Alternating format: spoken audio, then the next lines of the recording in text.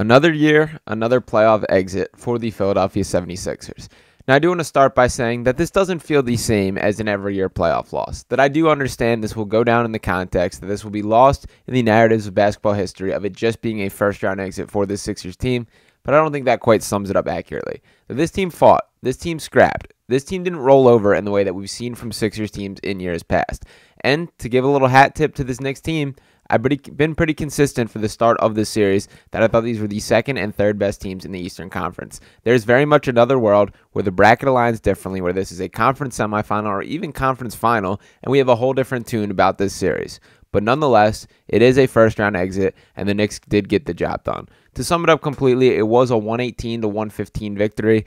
There's a lot of places to play, put the blame on here. That to go down, Joel Embiid dropping 39 points, also added 13 rebounds, three assists. Um, played very well. Joel left everything that he had on here. And to speak on that, I do think one of the positives of this playoff run as a whole, we did see some of the Joel Embiid playoff narratives fall apart. That he gave everything he had this series. He was the best player on the floor. That with him being on one leg, half a face, and whatever else was wrong with him. But there are some places that we can also place some blame. And to dive back into the box score here, it's tough to look much farther than the guy Tobias Harris in 29 minutes of play finished with a whopping zero points in action. What a poetic end to a guy that never quite was able to fulfill the expectations of the contract that he was handed to put up zero points in an elimination game. But shout out to Tobias Harris there. Now, there were some other positives in the series. We saw Tyrese Maxey begin to grow up, saw him take that step forward where he can be the number one option in stretches in a way that the Sixers team will need him to be in the foreseeable future. We also saw Kelly Oubre just deliver and play at the level, contribute to winning basketball in a way that I think a lot of people question was even possible. Saw some other guys step up around the edges. We got the Buddy Hield game last night, and to touch on that specifically, 20 points off the bench for Buddy.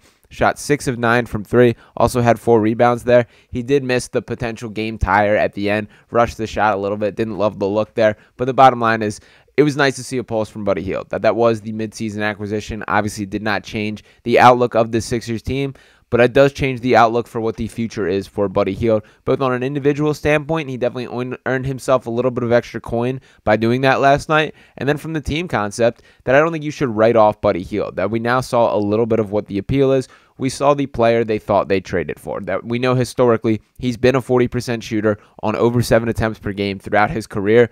I believe in the baseball card statistics there, that I do believe that he's closer to that than the way that he played because there's so much data to back it up.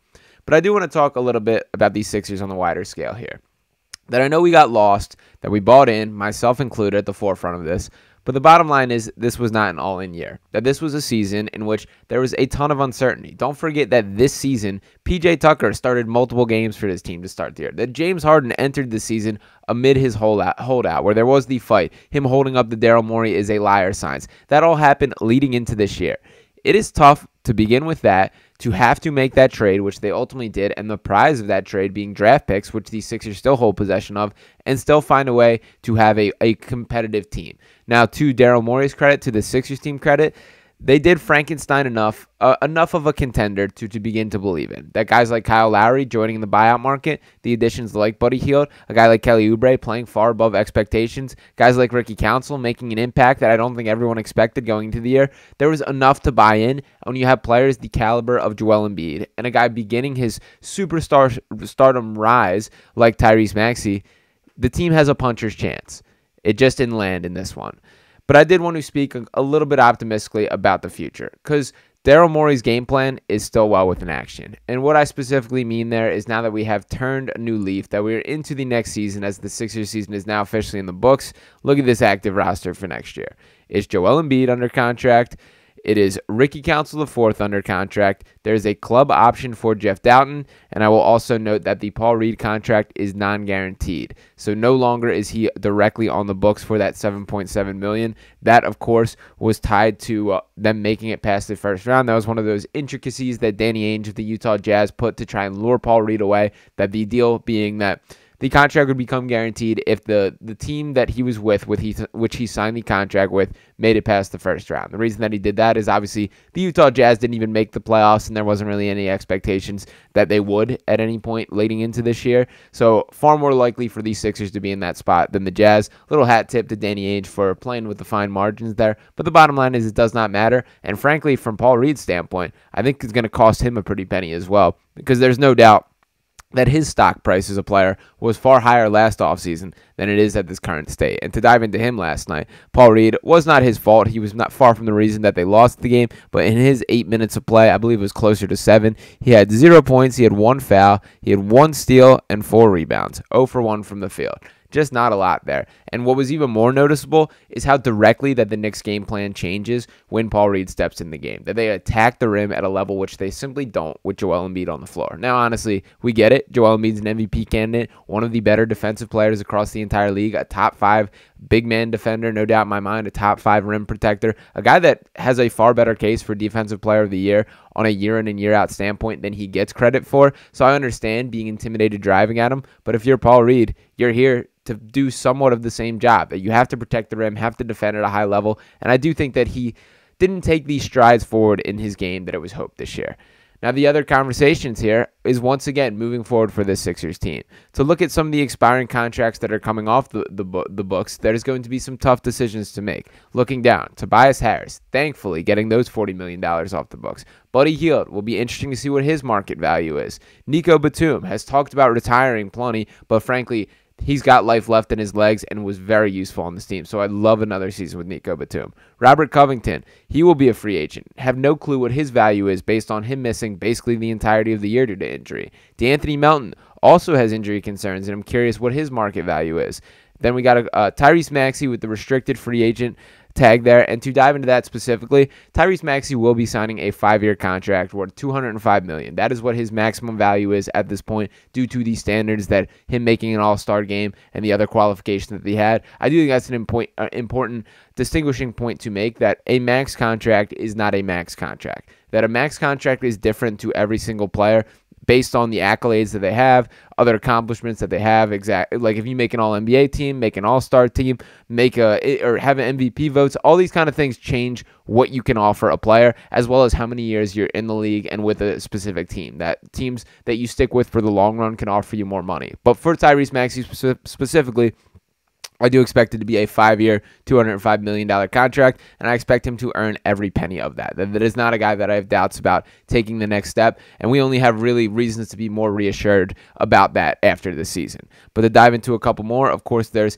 Kelly Oubre Jr., I would love to have back in a Sixers uniform. Loved having him on the team this year. And then Kyle Lowry. It'll be interesting to see if he decides to hang it up or if he wants to give it one more run, one more season. The guy's 38 years old. I certainly could not blame him either way. And to be honest, he's another guy who put up zero points last night. So while I would appreciate him b- being around, I think we're past the point where we can, can uh, rely on Kyle Lowry to swing a playoff series. Now, we're already beginning to see some of this smoke coming out about where the Sixers could be looking to spend this money. And just to acknowledge it once again, that all of this planned by Daryl Morey. And to read this directly from Hoops reference here, he says the plan was always to open up flexibility for this offseason, and now the Sixers have the most money to spend in the NBA, plus four first round picks to dangle in trades to finally construct a roster that isn't held down by Tobias's monstrosity of a contract. All eyes now turn to Morey. And as you can see, looking at some of the teams already over the second apron, teams like Boston, Denver, Phoenix, and the teams below that with money to spend, the Sixers. Look at the teams that, that they're in the mix with. The Detroit Pistons, who are obviously very young, very underperforming. The Utah Jazz, very young, still trying to find their direction. And the OKC Thunder, who are in a world of their own as far as being one of the best spots for the long term outlook for the NBA. But it's the Sixers right in that same conversation with it. That you will not find very many situations in which a team has a legitimate MVP candidate, has an up and coming star, and has room for a max slot and plenty of other money to offer to players. That is a great spot to sit in. And to jump into the quote from Brian Windhorst, which we're already hearing here, he says, quote, but you don't just have to use cap space on free agents. You can use it in trades. And this is where I think Daryl Morey is going to work. There's going to be a number of names that are going to come up, but I'm going to give you two, two off the bat here. The first name to watch is Jimmy Butler. Also, another player to watch, Brandon Ingram. Ingram is a player who might be on the market, and again, I don't think he will be their number one choice behind Paul George, but this is, uh, but this of a player is who Philly could potentially look at to add firepower to their offense and to their team.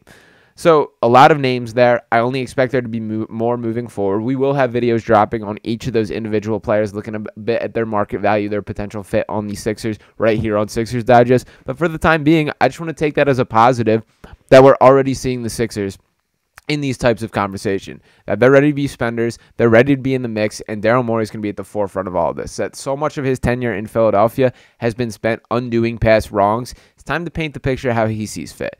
And that ultimately will make or break what the future of this Sixers organization is.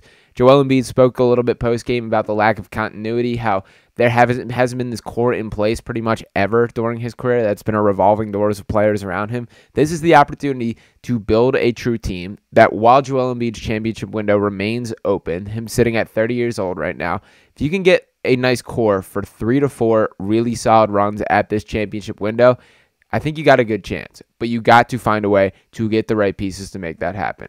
We're going to be breaking it down every step of the way right here on Sixers Digest. Once again, unfortunate the Sixers season did come to the end a little uh, sooner than I think any of us wanted or expected to be the case, but ultimately, that's how the cards were dealt. So appreciate each and every one of you for tuning into this video. Drop your comments. Let me know your thoughts. Air out your frustrations to me. Believe me, I hear it. Make sure you're dropping a like and subscribing to the channel to keep this Digest family growing. And be talking with you next time. Peace.